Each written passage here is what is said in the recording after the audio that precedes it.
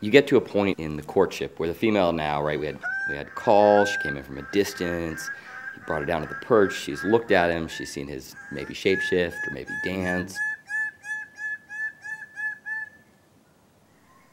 She's still there. Mm-hmm. What are the final phases of attraction? What are the things that males and females are doing in the end mm-hmm. to sort of seal the deal? Mm-hmm. If the female is interested in mating, then there's one final phase out of the whole series of things that happen.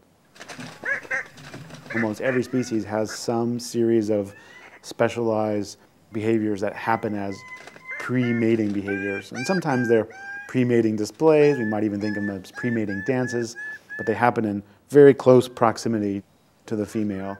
And a lot of them involve components of touch. This might happen with special feathers that the male is moving back and forth across the female's body in some way, like the wires of a 12 wire or the wires on the tail of a, of a Paradisaea are also rubbed on the female when she's in close and inspecting. Usually right before mating, there's, there's something that's even closer where the male is pecking at the nape of the female in a ritualized way, sometimes showing off his colors on the inside of his mouth, and sometimes there's a clapping or other kind of motion with the wings as the male gets closer and closer and starts touching her body with his body. And then if everything is successful, that's when it all ends and you actually have mating. That's what all that other behavior has been about.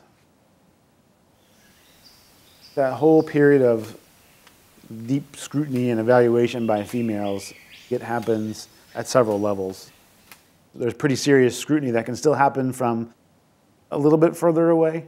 The male is doing parts of his display and she can still keep her distance.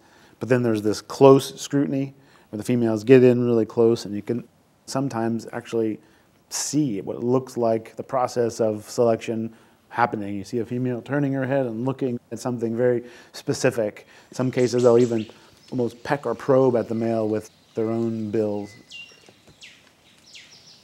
there's a whole complex series of motions and things that the males are doing, and the females are moving in and inspecting them, and the males that are responding appropriately at that point in time and not overeagerly turning around and trying to jump on the female before she's made her choice, those are the males that are going to be more successful. And I think that's probably why you see so many of these behaviors where the male is essentially in such a strange, compromising position with his feathers in weird places or holding some weird pose or hanging upside down while the female is evaluating them because it, it gives her a lot of opportunity to respond to his either appropriate or inappropriate, as the case may be, behavior back towards her.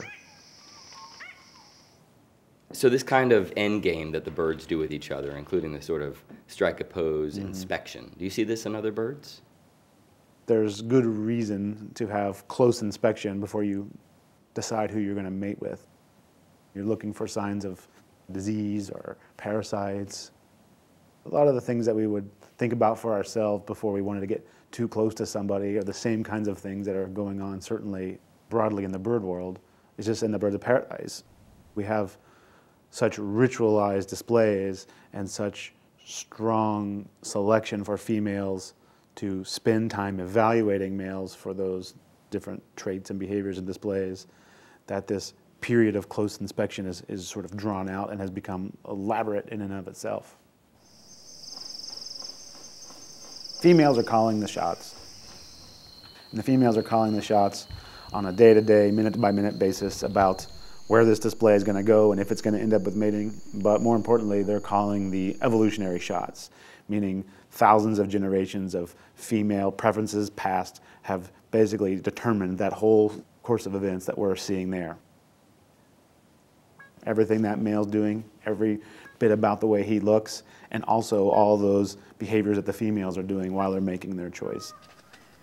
This is all a result of the driver's seat that females have in bird of paradise evolution.